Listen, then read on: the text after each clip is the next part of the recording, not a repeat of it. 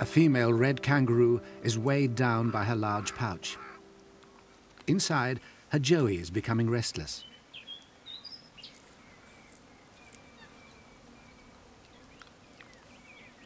After five months confined in the darkness, his face emerges for the first time.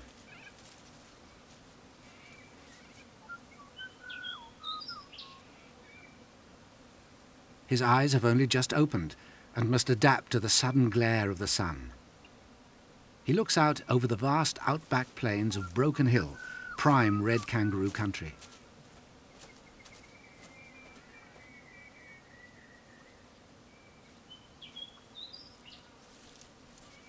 His mother is 10 years old and in perfect breeding condition.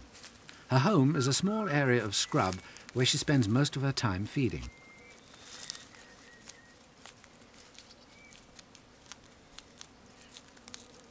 The Joey takes only a brief look at the outside world before retreating again to the safety of the pouch.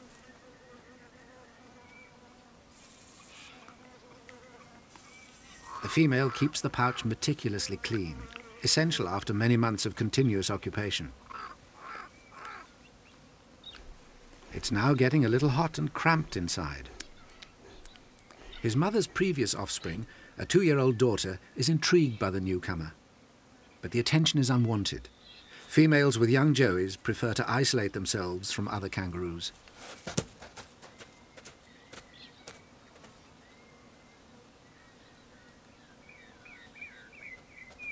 Females and their offspring form the core of a society presided over by a dominant male.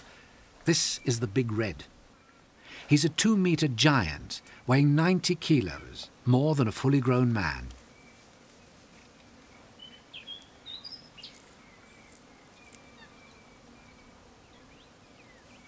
The females are only a third his size.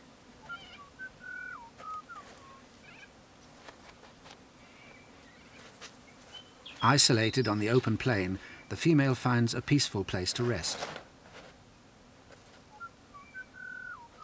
After his first brief excursion, the joey is impatient to be let out again.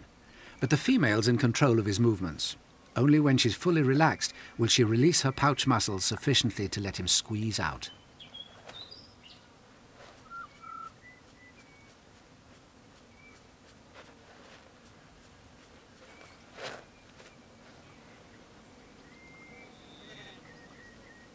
His observations are soon interrupted. The land is colonized by a foreign force, sheep. It's home to the second largest flock in the world. In total, more than 100 million sheep live in this part of the outback.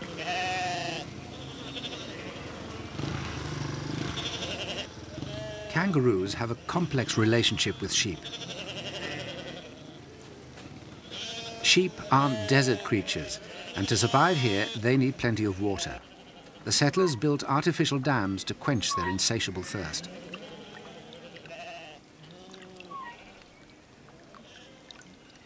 Reds don't need an artificial water supply to survive, but it helps. As a result of farming, kangaroo numbers have doubled in this part of the outback in the last 200 years. Sheep farming has benefited kangaroos for another reason, protection. This is the world's longest fence. It extends more than 5,000 kilometres through the heart of the Australian outback. It exists to keep dingoes, Australia's wild dogs, out of sheep country. But the wire fence is surprisingly flimsy. Brian Locke is a fence fixer. He's spent 30 years repairing holes created by wombats, camels and kangaroos. His careful attention ensures that dingoes rarely break through into sheep country.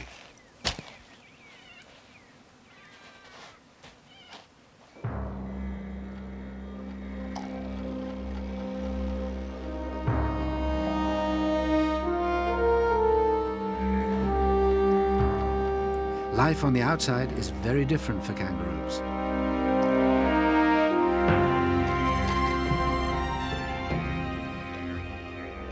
Red kangaroos are only found in low numbers in the centre of Australia. Drought is frequent here, and waterholes are scarce. The distinctive desert plants are tough and indigestible to grazing animals.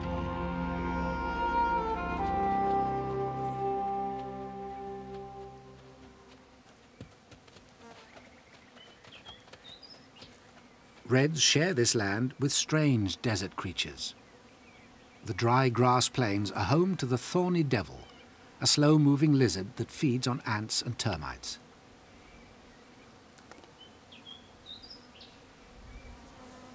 Of more concern to the kangaroo is the dingo.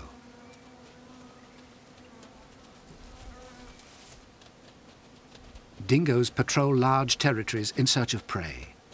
They're opportunists that will eat almost anything they can find. But their traditional prey is the kangaroo. The red kangaroo's first line of defense is extreme nervousness.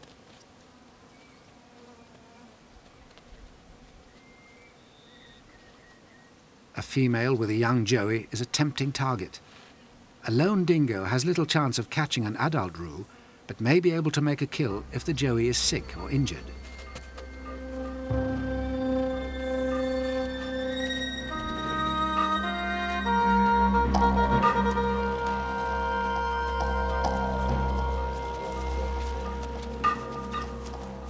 Unfortunately for the dingo, this joey is strong enough to outrun him. A lone dingo will only catch one in every 20 kangaroos it chases. They're much more successful at hunting when they work in packs.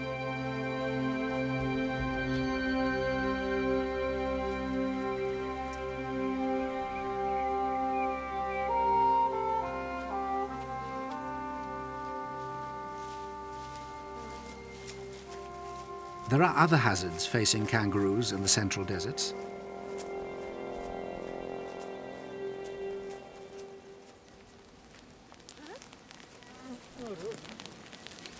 This is a land of fire.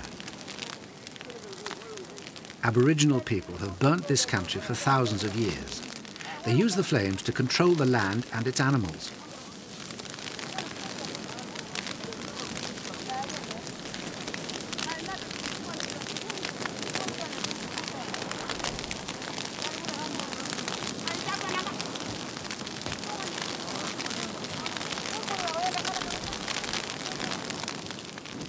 The fire stick is used to flash kangaroos and other edible creatures out of the bush so they can be hunted. The thorny devil is slow to react, as is the perenti, Australia's largest lizard. Astonishingly, the desert plants need fire to survive. Once the flames have burnt out, fresh new shoots will emerge from the embers.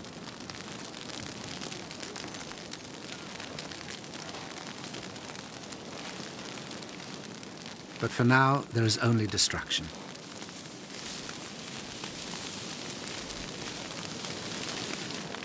Healthy kangaroos easily flee the flames, but there are other casualties.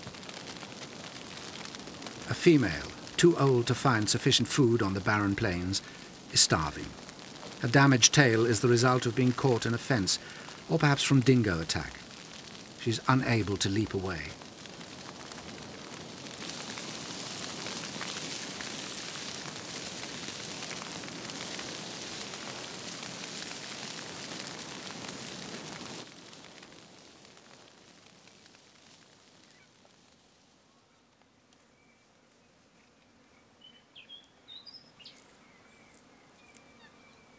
Far to the east, away from the raging fires and dingoes of the centre, our Joey is growing fast.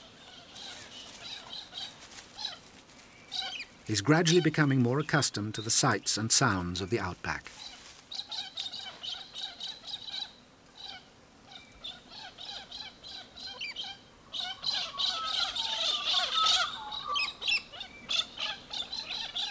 Joeys spend one month observing the world from the safety of their mother's pouch before they step out for the first time. Despite its barren appearance, Broken Hill lies on the inside of the dingo fence and is a safe haven for red kangaroos.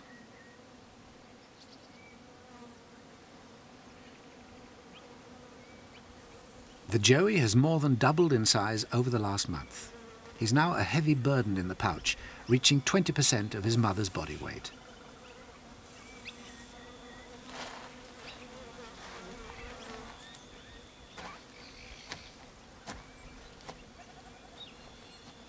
She can still hop with him on board, but it's getting increasingly uncomfortable for both of them.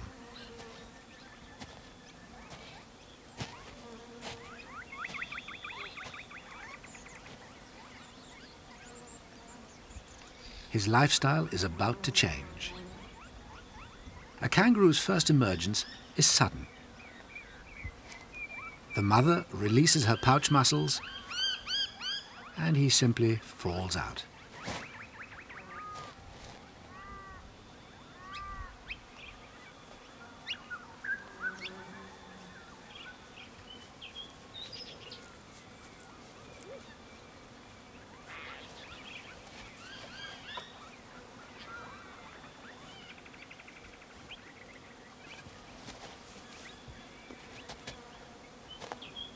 Joey's first taste of freedom is short-lived. He's small and uncoordinated, and after a brief stretch, he dives straight back. Safe inside, he can't be attacked by the kangaroo's key predator in this area, the wedge-tailed eagle.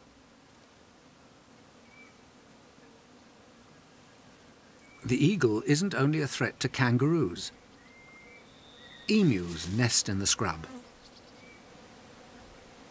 Male emus incubate their clutch patiently for two months before the eggs start to hatch.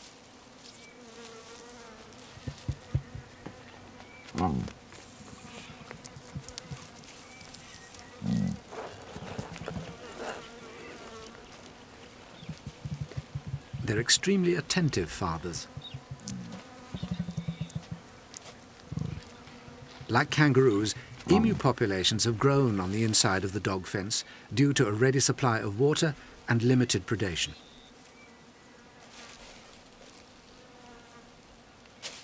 The chicks are on their feet within hours of hatching.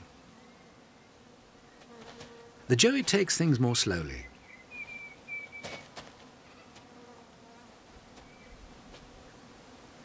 Over the next few days, he spends more time exploring outside the pouch. This is an exciting playground, full of strange creatures.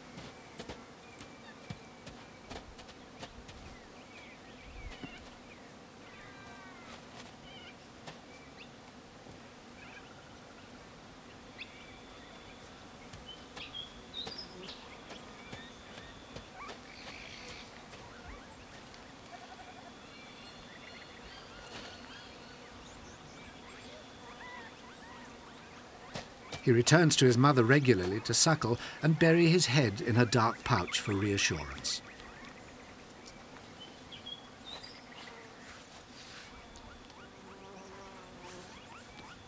He sticks close to his mother as she leads him around her home range.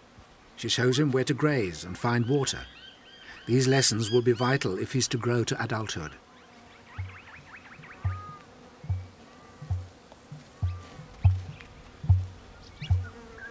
Like all outback creatures, red kangaroos depend on an intimate knowledge of the environment to survive during hard times.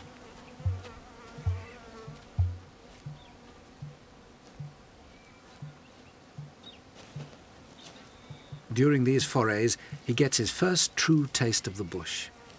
While in the pouch, he nibbled at the vegetation. Now he must begin to eat properly. But the desert plants are tough and difficult to digest.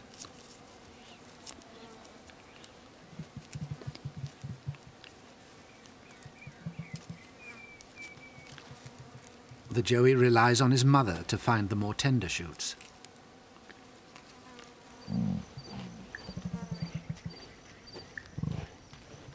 In between bouts of feeding, the mother and Joey relax together.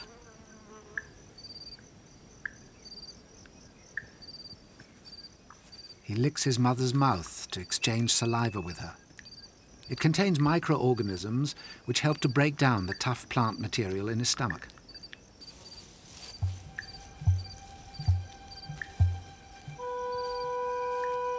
The young Joey watches the world go by from the security of his mother's pouch.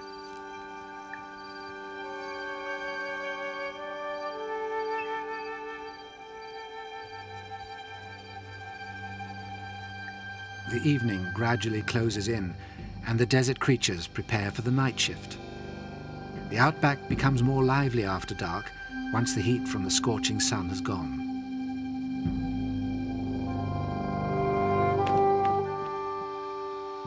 Though red kangaroos are active during the day, they're essentially nocturnal creatures and continue to feed throughout the night.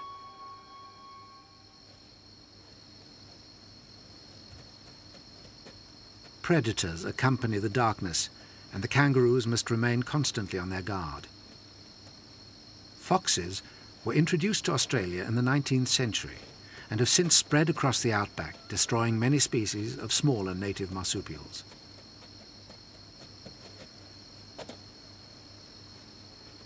But a joey, if it's well guarded, isn't an easy catch for a slight fox. Only 2% fall victim to foxes. A more serious threat comes from the wedge-tailed eagle, the largest raptor in Australia.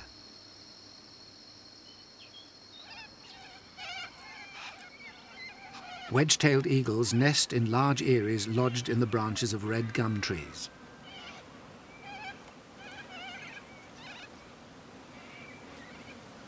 Here the female incubates two eggs that hatch within a day of each other.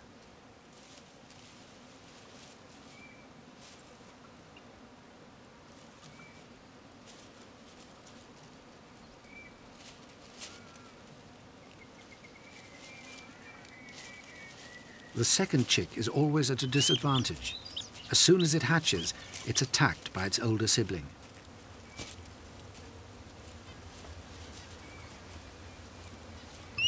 The eagle chicks are locked in a battle for survival. In a bad year, when food is scarce, one hatchling will kill the other to avoid competition.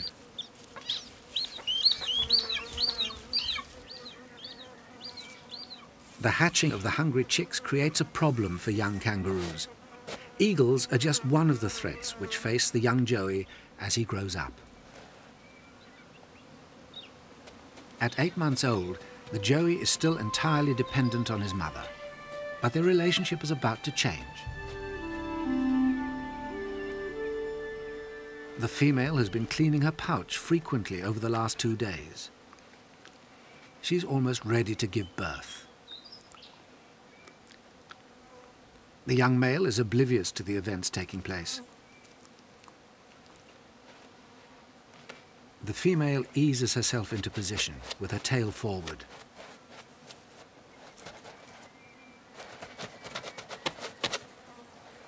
Getting comfortable on the hard ground isn't easy.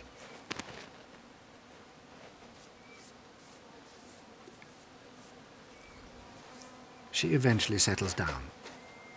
Female red kangaroos only ever sit like this when they give birth.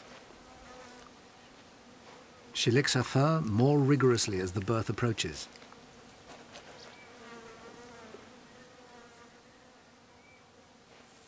One single contraction is all it takes for a joey, no bigger than a coffee bean, to be born. It's been growing inside its mother for only 33 days. Now it must embark on an epic journey to the mother's pouch. It's a struggle for such a tiny creature to clamber through the entanglement of hair. But the joey has a well-developed sense of direction and smell to guide it.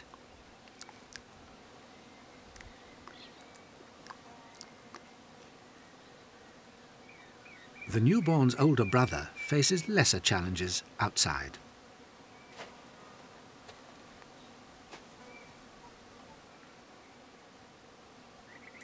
After a three-minute marathon, the newly born reaches the rim of the pouch and climbs inside.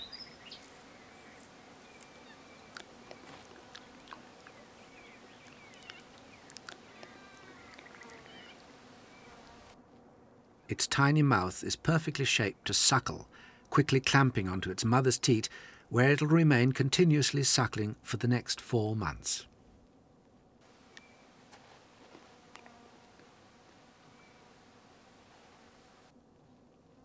When conditions are good, female red kangaroos raise more than one joey at a time. This remarkable fecundity is key to their success in a harsh and unpredictable environment.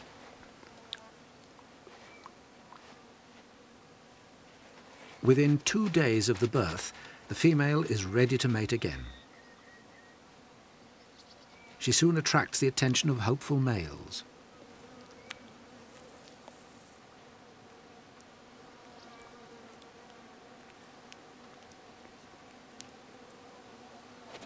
A receptive female creates a flurry of activity on the plains.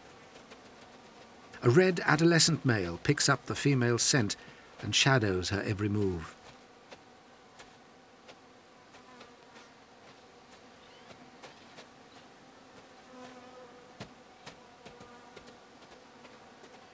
At only three years old, he's low in the pecking order, but he has the chance of a sneaky mating while the big red is preoccupied elsewhere.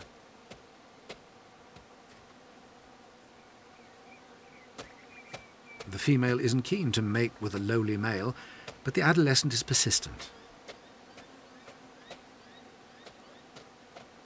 With his mother distracted, this is an alarming time for the joey.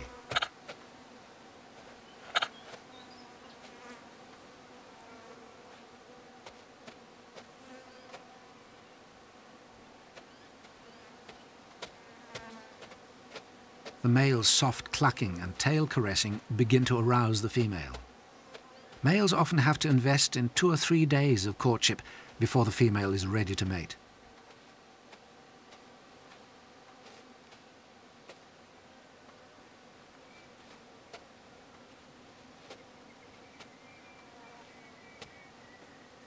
In the excitement, the joey is left behind.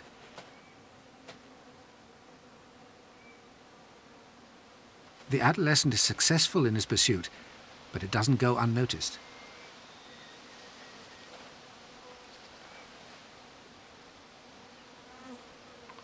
Unfortunately for the adolescent, his attempt is interrupted.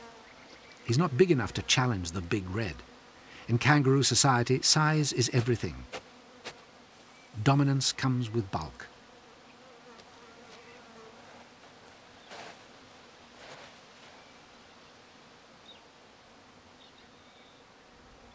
It's in the female's interests to mate with the big red because his successful genes will be inherited by her next offspring.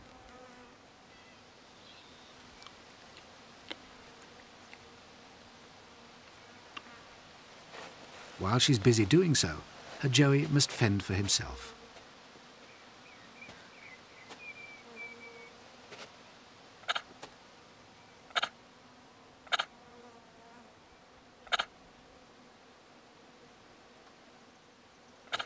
With predators nesting in the trees nearby, this is a dangerous time for the joey.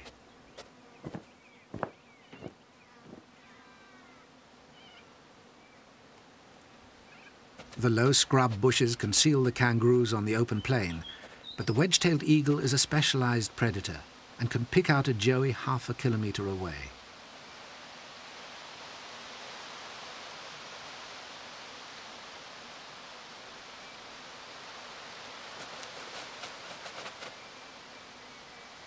Kangaroos scatter at the slightest hint of danger. The eagle is no threat to an adult kangaroo, but its powerful talons can crush a joey. The eagle can swoop at 100 kilometers an hour.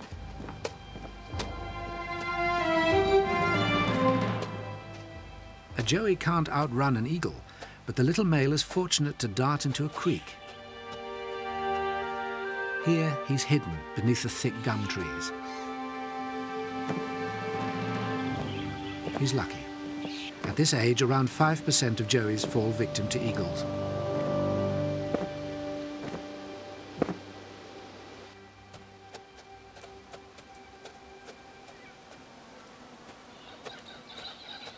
The creek is like another world, a safe haven cloaked by cooling gum trees.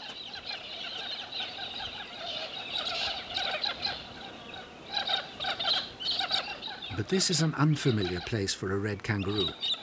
They're creatures of the open plain, and the joey feels lost in the trees.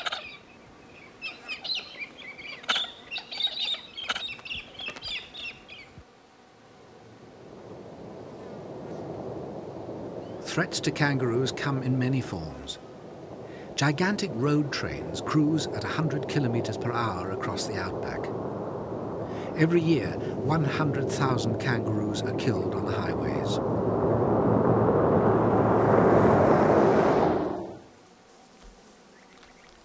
This female with her joey are two of them.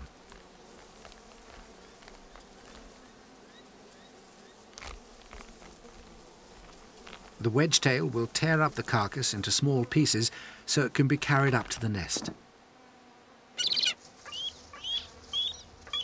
The two chicks wait expectantly in the giant eyrie, which they share with tiny nesting finches. Their mother feeds them two or three times a day on a varied diet of lizards, emu chicks and kangaroos.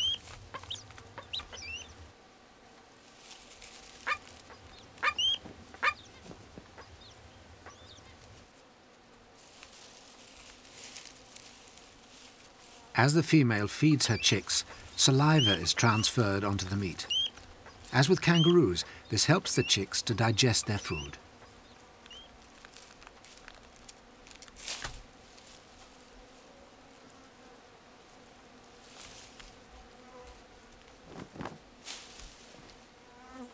Both parents will wait on their demanding youngsters for the next two and a half months.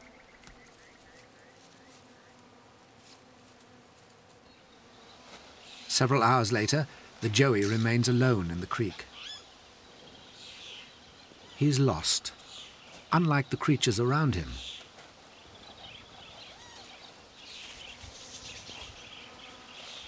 Emerging from their winter hibernation, sleepy lizards search out their mates.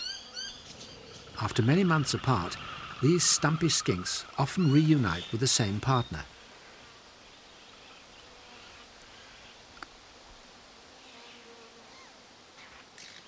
The eight-month-old Joey can't yet survive a night away from his mother.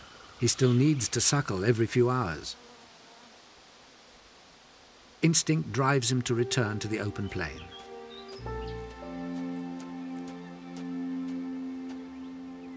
Mother and Joey identify one another by smell.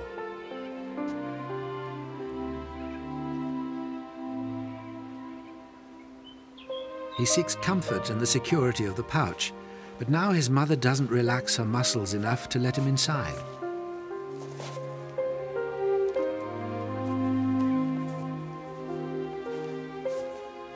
His familiar refuge is occupied by the newborn Joey. Though his mother will continue to suckle him, she'll no longer let him ride in her pouch. From now on, the Joey must learn to stand on his own two feet permanently.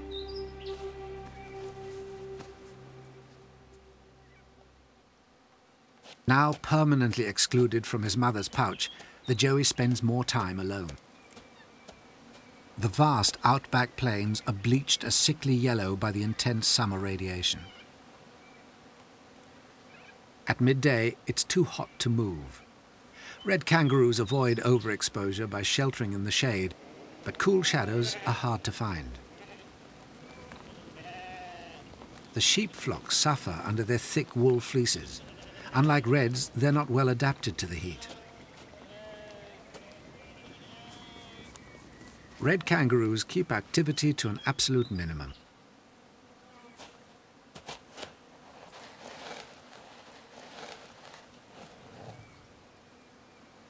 They lose excess heat by licking themselves. Their forearms have many tiny capillaries close to the skin surface. As the saliva dries, it cools their blood.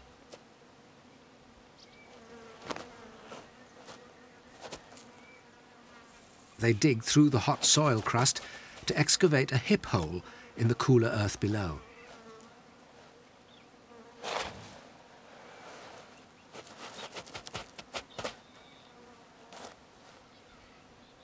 The joey copies his mother. Though he sits apart from her now, he always keeps her in sight.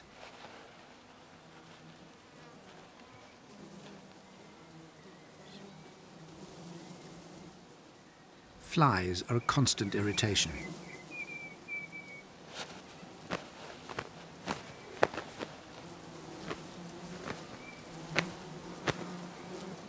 They interrupt his rest and make him feel even hotter.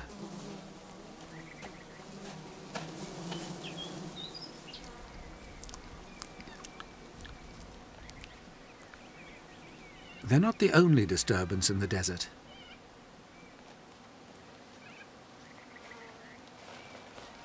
A sleepy lizard makes its way through the scrub looking for a patch of shade.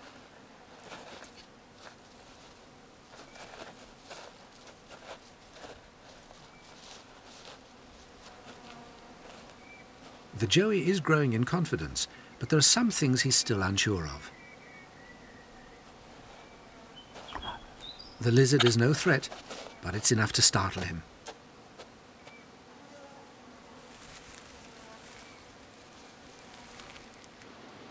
The summer brings not only heat, but also dust.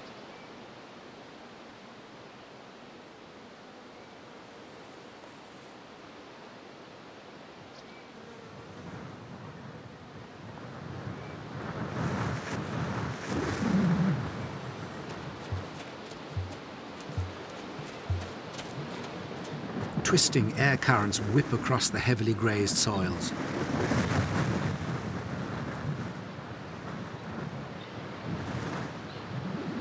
Every year, thousands of tons of the fragile topsoil are lost to the wind.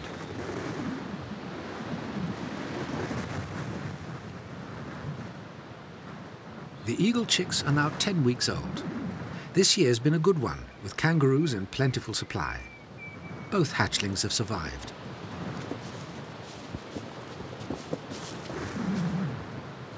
They take advantage of the wind to test out their wings.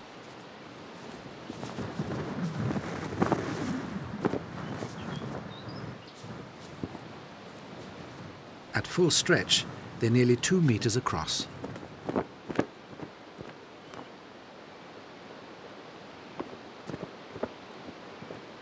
The fledglings prepare to launch themselves for the first time.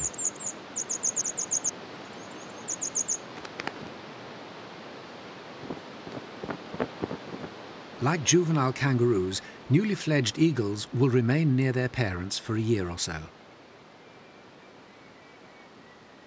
After three months of 50 degree heat, the kangaroo plains are tinder crisp. At almost a year old, the joey is still suckling from his mother. This will be his last indulgence. From now on, he must survive solely on the desert plants. But in the height of summer, food is in short supply. Even in good conditions, half the joeys that are weaned will starve to death. The presence of sheep makes things worse for kangaroos. Their hard hooves erode the soil, and their voracious mouths tear at the vegetation. Sheep farming not only damages the outback, it also divides it with numerous paddock fences. Kangaroos do slip through, but if they leap the high wire, their legs can get caught.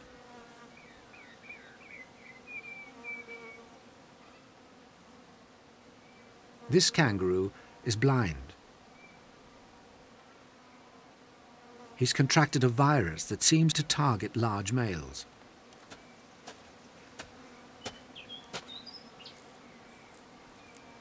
The creek offers short-term relief from the hot sun.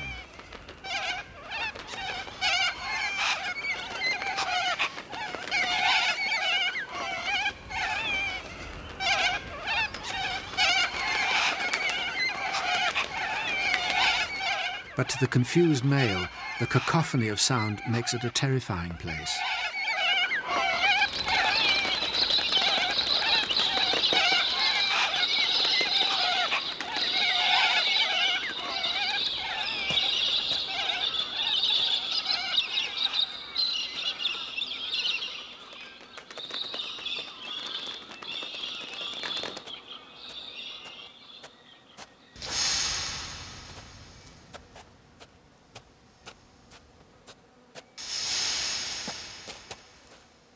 Thankfully, his suffering will be short-lived. Blind kangaroos survive for only a few days.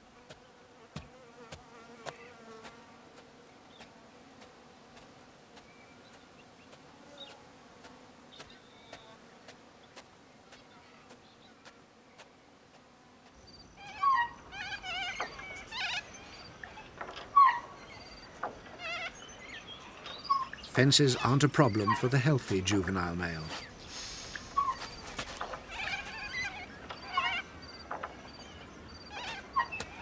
During the dry season, animals flock to the man-made sheep troughs to drink. Now more than a year old, the juvenile remains in his mother's home range, but he doesn't spend much time with her. Instead, he travels alone to the places she introduced him to as a joey.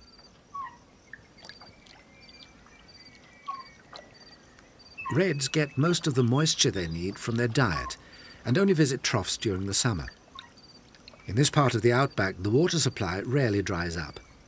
Water is more difficult to find on the other side of the dog fence.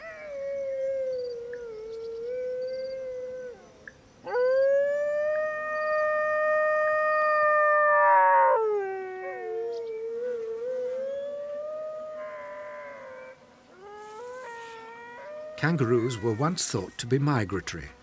Certainly in the centre, they may travel hundreds of kilometres in search of water during the dry season. Because water holes are a focus for them, they also attract patrolling dingoes.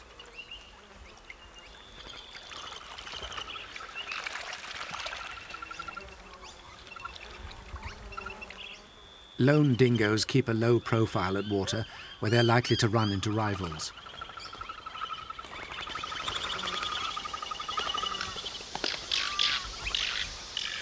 Dingoes are most active at dawn and dusk. Like all desert animals, they take it easy during the day.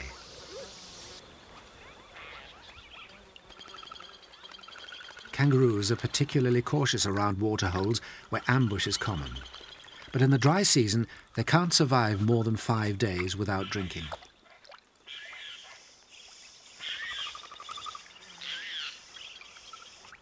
Waterholes are one of the few places where red kangaroos congregate in large numbers.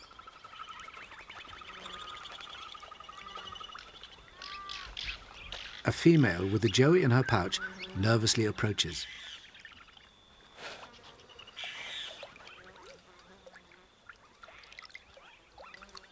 Tiny tree frogs congregate in the pool to mate. Their presence is enough to make a kangaroo jumpy.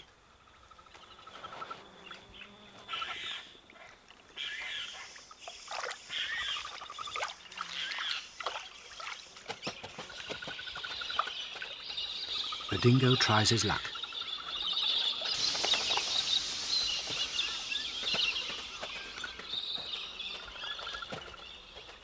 But with an early warning, the roos, once again, have the advantage over a lone dingo. They're too agile.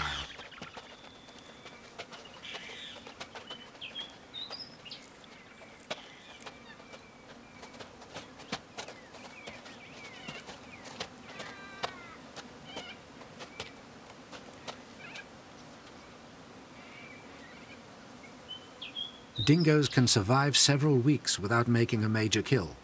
Their large territories contain many sources of food. Grasshoppers make a tasty mouthful.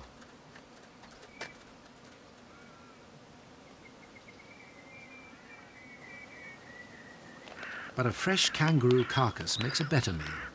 Red kangaroos commonly die of starvation in the centre because of the poor vegetation.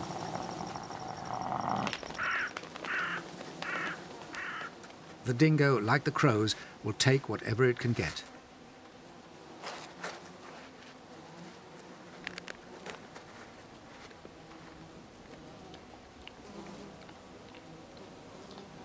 Dingoes can survive in the central deserts because they're adaptable animals. They defend large territories where they hunt insects, reptiles and even birds.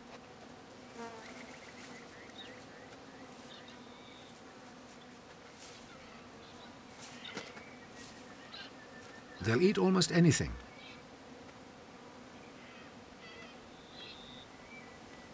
Fresh berries make a perfect dessert.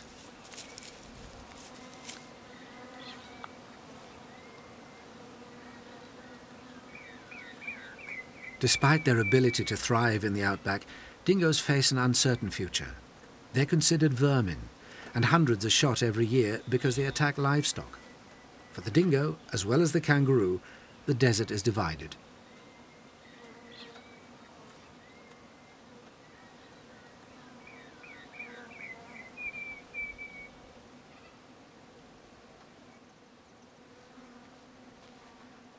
Aboriginal people are thought to have lived in Central Australia for more than 40,000 years. They have an ancient affinity with the land and its creatures.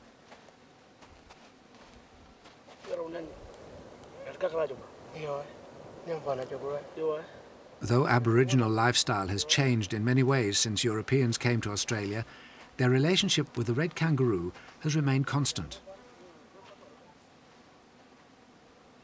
Today they hunt with guns rather than spears.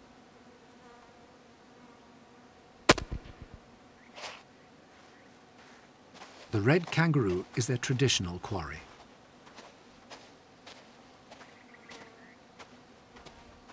The hunters take the kill back to a temporary bush camp where it's cooked over an earth oven.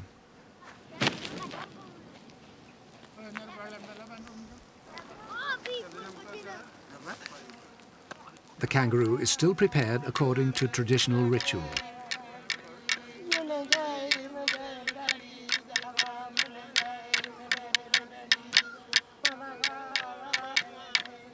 It's left to cook for only an hour or so, not long in Western terms for such a large animal. The meat is still quite raw.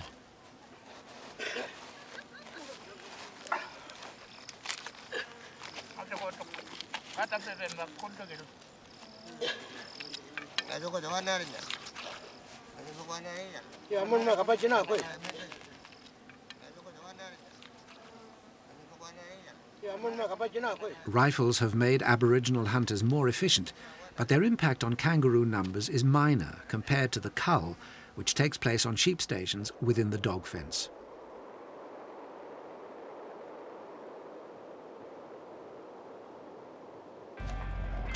In the half-light, shooters cruise the highways. Ironically, red kangaroos have become victims of their own success on the inside of the fence. Farmers believe kangaroos compete with sheep for food. A female is caught in the beam, but is passed over.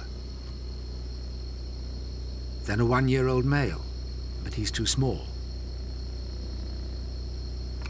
The shooter is aiming for another target. He's after a big male.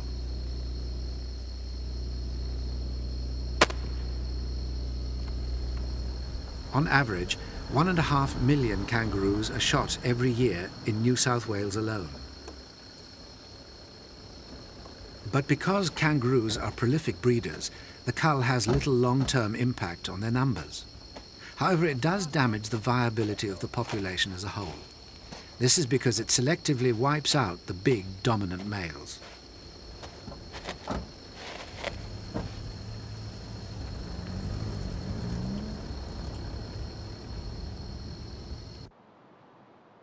Reds are believed to be able to smell the coming rain. The storms are infrequent, but when they arrive, they drench the desert.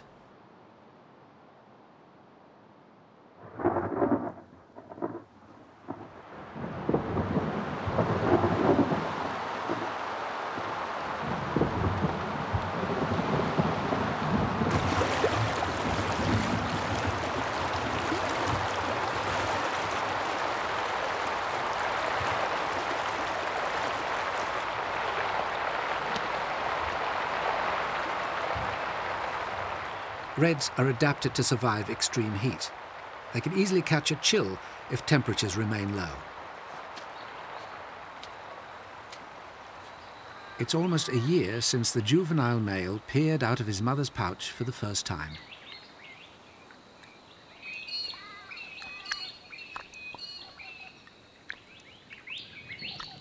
Now a new face has emerged. Female kangaroos actually have the ability to determine the sex of their offspring. After raising an energetically demanding son, his mother has given birth to a daughter.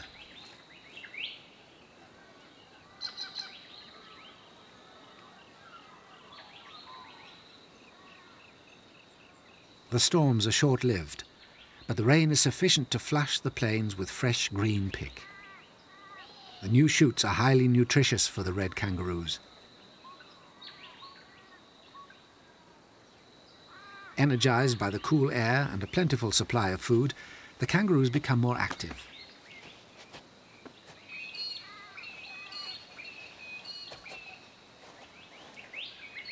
The 15-month-old juvenile is intrigued. Fighting is a ritualized affair known as boxing, the combatants locked together in a battle of brawn.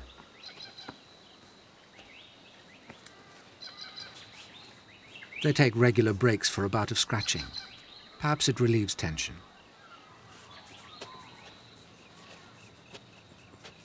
These fights help to establish rank amongst the males. Some contests are short-lived, but if the males are well matched, the battle is closely fought.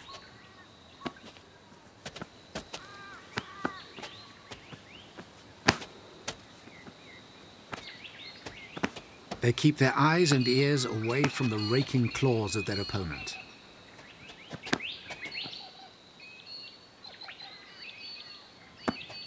Kicking is a defensive act, and the loser eventually backs down. Amongst smaller males, boxing is more light-hearted. The juvenile male's first fight will help establish his position.